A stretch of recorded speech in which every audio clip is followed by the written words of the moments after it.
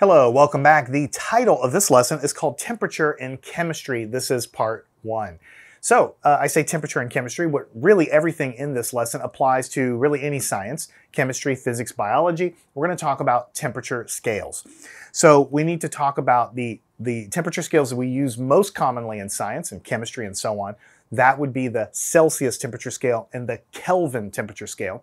But we're also going to talk a little bit about the Fahrenheit temperature scale. Even though we don't use it very much, you still need to know how to deal with it. So let's draw a couple of pictures. I really think pictures are going to make it very, very easy to understand. Before we do that, just think uh, about what Celsius is. We know that zero degrees Celsius is when water freezes,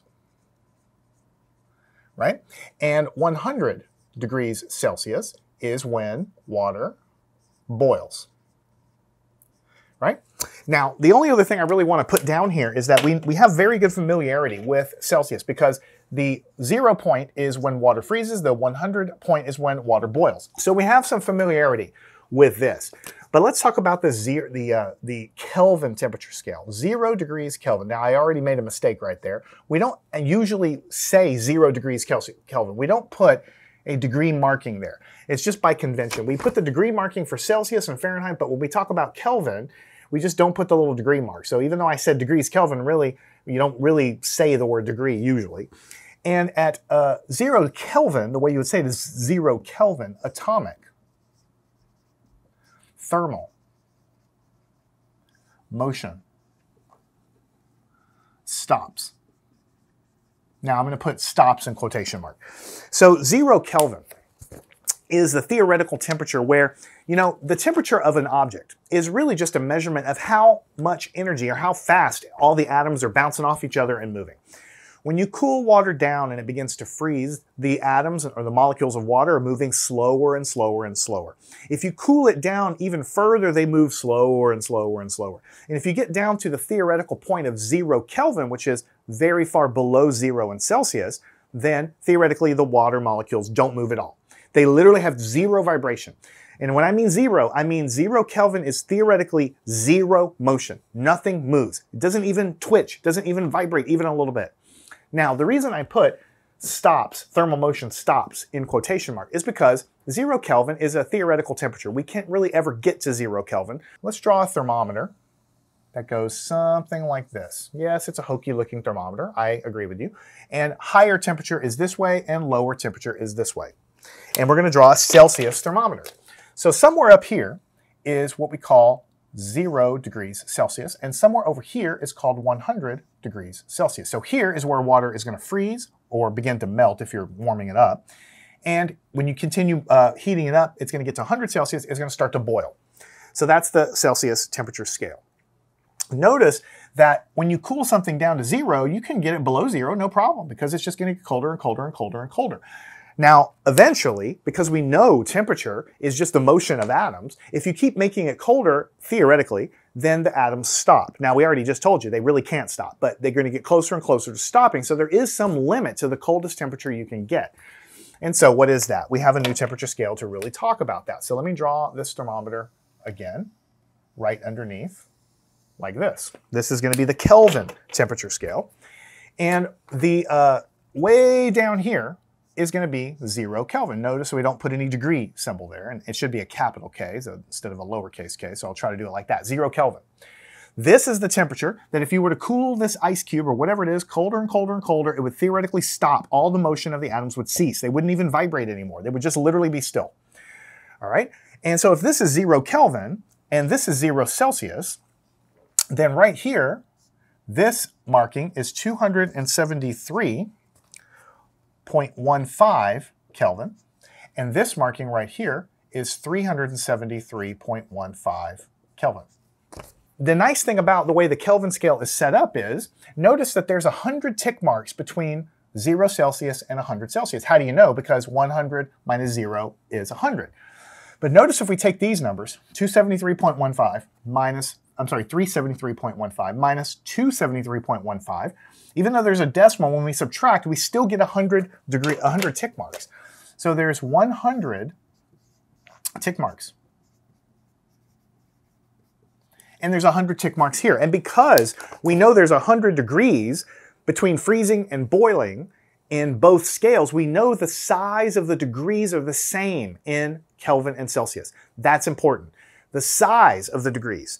When you increment by one degree Celsius and you increment by one degree Kelvin, you're going up the same amount because it's the same number of degrees in Celsius and in uh, Kelvin. It's different in Fahrenheit. Fahrenheit's a crazy temperature scale because not only is the zero point of the freezing and the, and the, boiling of water kind of some weird numbers, but also the degree sizes for the Fahrenheit scale is smaller and different than these.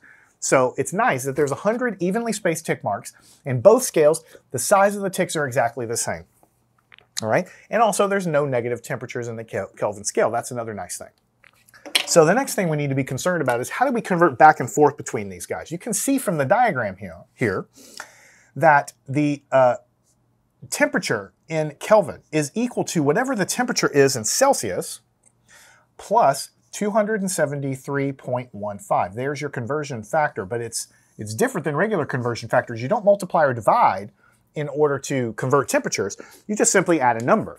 So notice that at zero Celsius, if I put zero in here for zero Celsius and I add 273.15, then I get the correct answer in Kelvin. If I put 100 degrees Celsius in here and add it, then I get the same correct uh, answer that I wrote down here on the temperature scale. I want to talk a little bit about the Fahrenheit scale right? The first thing I want you to remember or know is the Fahrenheit scale, the degree tick marks between the freezing point and the boiling point of water, the, the tick mark sizes in the degree in the Fahrenheit scale is smaller and very different than Celsius. And it leads to it being kind of an, a, a kind of like not very nice to work with, right? And the way you can understand this is because you know that in the, in the Fahrenheit scale, 32 degrees Fahrenheit is when H2O freezes right? And you also know that at 212 degrees Fahrenheit, water boils, right?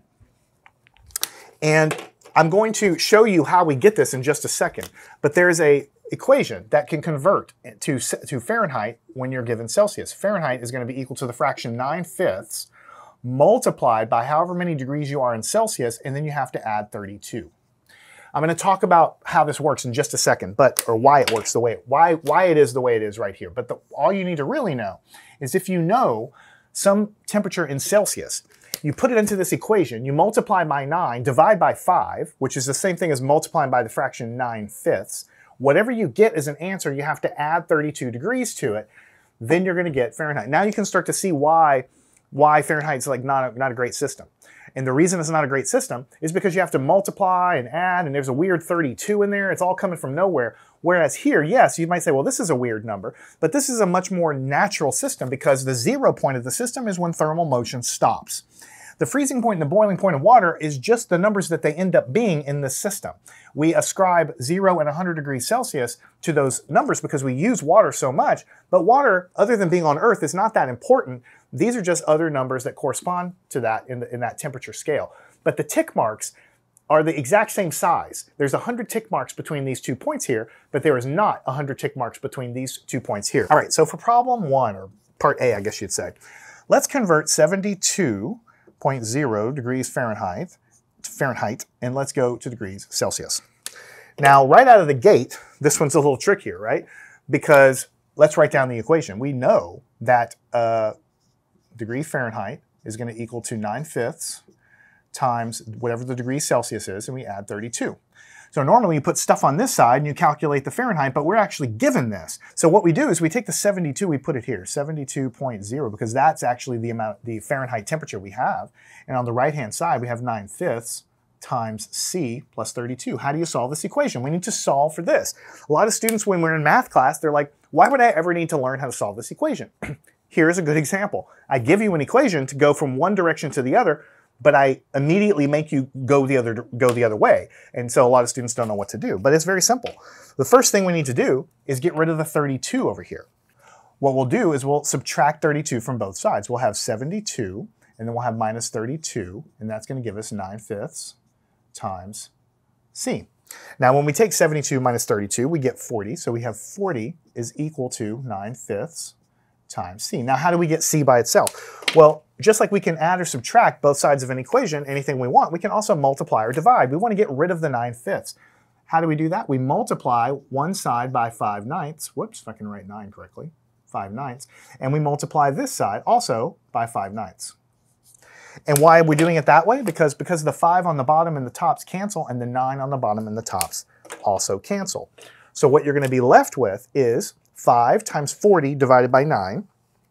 And when you uh, take 5 times 40 and you divide by 9, you're going to get 22.2 is equal to C. And so we flip it around, you say C is equal to 22.2 degrees uh, Celsius because we're going into the Celsius scale. And that's the answer, 22.2 degrees Celsius. Learn anything at mathandscience.com.